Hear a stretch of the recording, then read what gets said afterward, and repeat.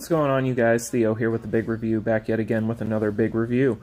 If you guys are new to the channel and do not know, we do these every Sunday, so make sure you smash that like button and subscribe so that you don't miss another daily King of Fighters upload.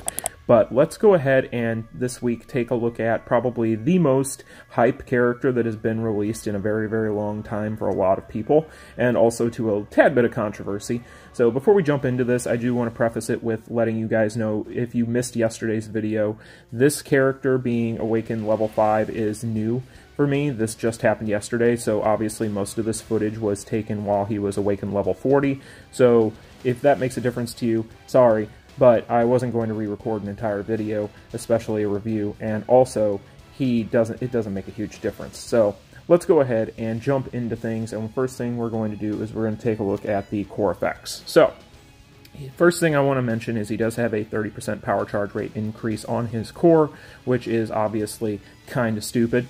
But that is going to be one thing I did want to mention about his other cores up here. As you can see, he is going to have a lot of attack and skill enhances to things that are going to deal damage, like his attack, his crit rate, his strike skill attack damage, blast skill attack damage, so on and so forth. He has a lot of penetration. So this character is basically all about damage ramp and nuking. So first things first, let's talk about his two exclusive cores. So the King of Fighters 97 level 3 is going to increase attack by 4% and penetration by 200 for 5 seconds for each attack. That's going to stack up to 5, and he's going to get 10% power when his combo count is 20 or above. So a lot of defense shred there, a lot of, again, attack buffs. So again, more damage ramp for his kit. Then on to Orochi Syndrome, 50% chance to reset the cooldown of his blast active skills upon landing his S3, and it has a cooldown of 20 seconds.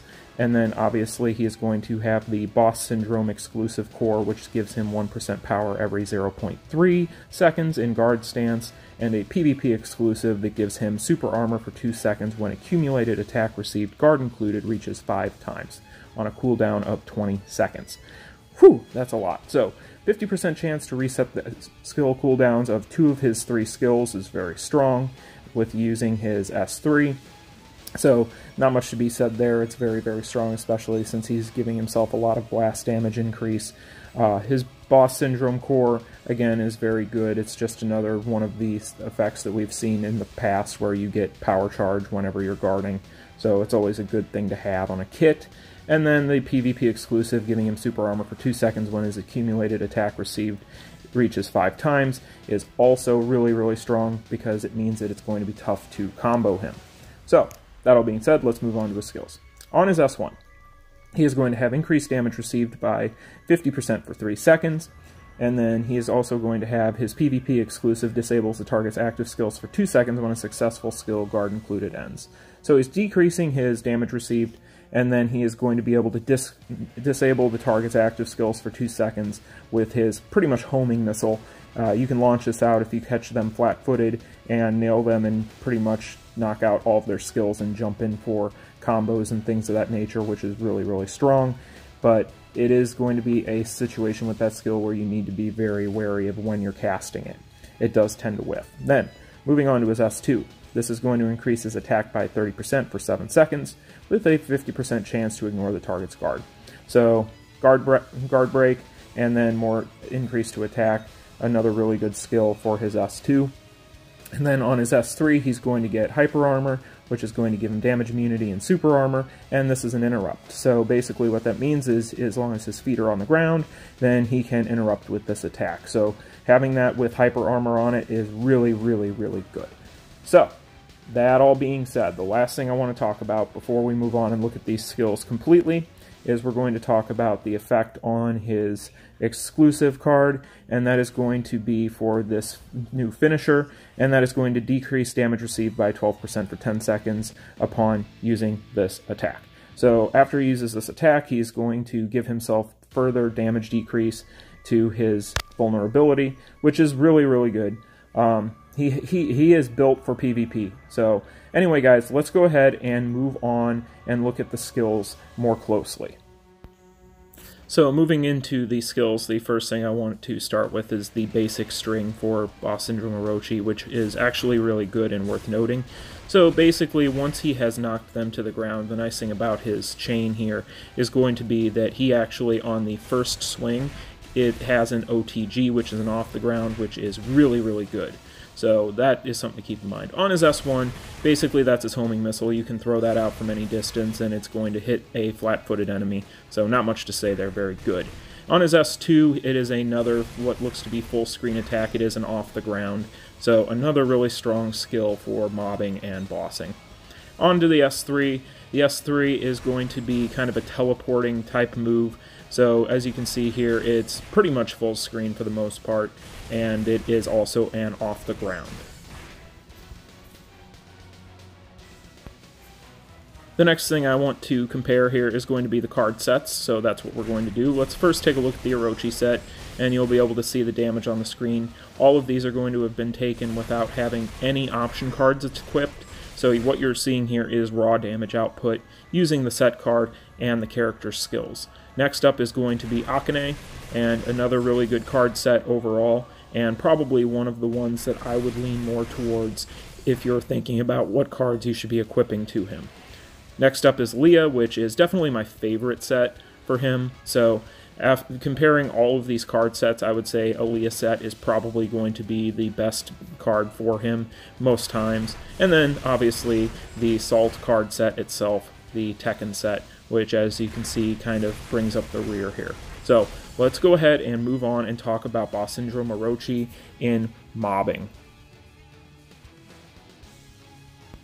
Against mobs, Orochi is interesting. So, he kind of suffers from similar issues that the originally Orochi had suffered from with mobbing, and that is that his skills really aren't designed, I don't believe, for this type of function specifically. Now, he isn't bad at it whatsoever. He's actually quite good with it. The issue is, is his XY axis on these skills isn't necessarily the best, so he is going to struggle to group mobs very well sometimes. It's kind of a 50-50 scenario with him, where he sometimes will is specifically if you're in Reviving Hell's Dungeon, if he's looking at a wave such as the ones with the ever annoying stun robots, where he casts something and one or two of them will kind of split off to the sides. So uh, he's he's interesting in that regard. So definitely doesn't have the best XY axis on some of these skills. It's not very forgiving, but overall, because of his amazing damage output and his ability to just spam finishers, he just completely runs through it. So it doesn't really make a huge impact on him at the end of the day, but it is something worth noting. But overall, I think that Boss Syndrome Orochi is very strong at mobbing. Is he going to be the best mobber out there? I don't believe so, but he does definitely get it done. So my my opinion of him is he's probably going to just be a hard 4 out of 5 at mobbing. Moving on now to bossing. This is the part of the review where Orochi sort of falls off, and it isn't because he can't he can't fight these bosses. The issue with Orochi is this. He doesn't have the versatility like a lot of the other characters in the game do, such as a lot of the Seven Knights is a good example that we just reviewed. Uh, he doesn't have the ability to just go in as a generalist against some of these immortals and get the job done. He doesn't go into guild raid and donate much to your team. He doesn't have a ton of versatility with a lot of different modes. But in the modes that he is really good in, he is absolutely nuts. So in Reviving Hell's Dungeon, as a kind of example, as you can see here on the screen, he does juggle bosses very, very well. Although at times, like on his on his finisher, he will cast it and they'll still be able to move around, so he'll kind of lose his cornering with them if you're just trying to juggle them out of existence. But overall, in Reviving Hell's Dungeon, he will definitely be a very strong pick. Um, now, moving on to kind of other modes that he might actually be usable for. I did take him into as much as I possibly could given the weak rotation of bosses that we had for this week and there really weren't a whole lot of things that he was very strong in that where I felt like I should even bother giving you guys any footage on it. For instance, I took him in against Immortal Moth. Didn't do much of anything, which I knew he wasn't going to, but I figured for posterity's sake I would try it out. As a clock stopper for Immortals, he just isn't going to be able to do that very well because they're going to be pretty much soaking his ability to gain his PG as fast as he would like, which is really where a lot of his strength comes from in PvE. So, yeah, I mean, in things like the Hall of Elements, for example, which you'll see here, he is going to be an absolute beast and do a ton of damage at one time keep the clock stopped, which this is probably one of his premier PvE boss situations right now.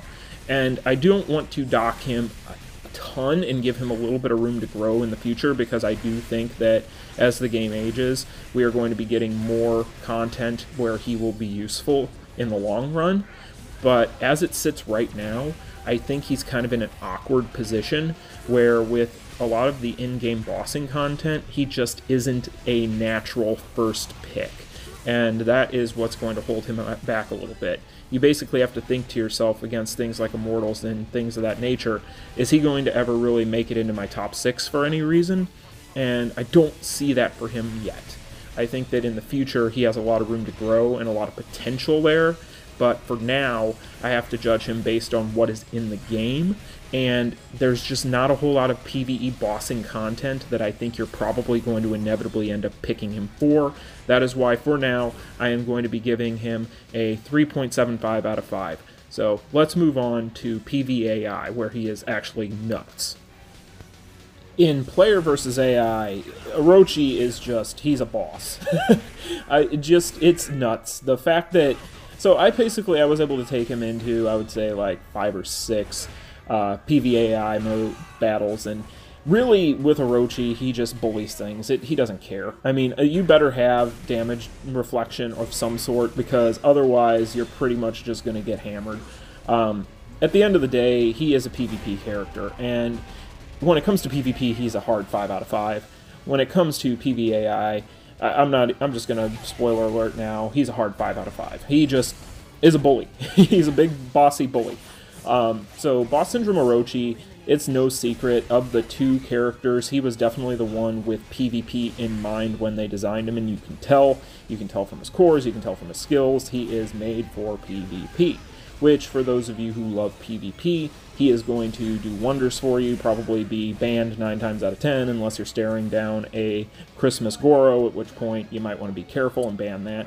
Um, but yeah, overall, he is very, very, very good. And I think that at the end of the day, a lot of people might have freaked out about the release of these characters, and I think it was a little premature. I think that these characters are extremely powerful but I don't think that they are characters that are busting the game in any way. And I definitely don't think that Orochi takes the meta to a whole new level. I think he basically just is more of the same as it pertains to the Seven Knights, maybe even a kind of slight step below them.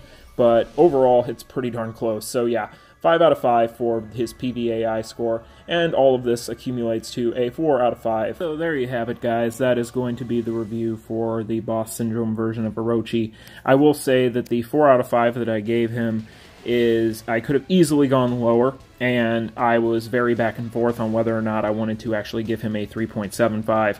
And the reason at the end of the day is going to be his lack of versatility in PvE it's no secret at this point, and we knew this kind of going in when we saw the leaks for his skills. We had pretty much assumed he was going to be a PvP oriented character, and he very much so is. If this review was considering PvP, then I think that he would definitely be a 4.5 um, or a 4.25, but as it sits right now, I think that he is a soft 4 he has room to grow in the future, but just because he's such a powerhouse. I think one thing that is bears mentioning here that does hold him back quite a bit from his PvE potential is going to be the fact that he is a balance. Being a balance type character, he does not be able to partake in some of the buffs from characters like a Orochi Iori, which would be very beneficial when you're trying to put together team comps for certain dungeons and things like that. So you pretty much have to either run him or you need to run Shane as the leader in order to buff him to his full potential in whatever boss mode you're doing. So overall, I think that he is. It's fair to say he's a four. Although I do think that there's definitely a case to be made to go lower. But I wanted to just spot him the four based on future potential down the road, I think that there is a chance that he could grow in popularity in PvE at some point as more content is released. So that is going to be the video, guys. For those of you who never stay to the end, you might want to stay to the end. I'm just saying, I tend to add things at the end of the videos that sometimes I don't think much many people notice. I think they think that it's just going to be the countdown with Chrysalid, and then they're not going to have anything in there, but I, I do tend to add things. So there's tons of Easter eggs throughout my channel at the end of my videos if you guys have not checked out some of those. Um, but anyway, it's not every video, but some of them. Maybe it's this one too. Who knows? Anyway, guys, that is going to be the review. Let me know your thoughts down below if you're thinking about pulling for him. I think that if you are a PvP oriented character fighter, that you should definitely go for him. Um, if he is somebody you want for your PvP team, he will definitely, definitely be a boon there. Uh, if you're somebody who wants him for PvE, then you might want to use some caution and uh, rethink that. I think that a much better investment for PvE would definitely be Rugal by a large, large margin. However, I will say it basically is going to come down to the luck. I wouldn't have this here if I weren't going for Rugal. So, you know, it is what it is. Anyway, guys, like, share, and subscribe if you haven't already done so. I will see you in tomorrow's video. I hope you all enjoy the rest of your weekend, and peace. Continue.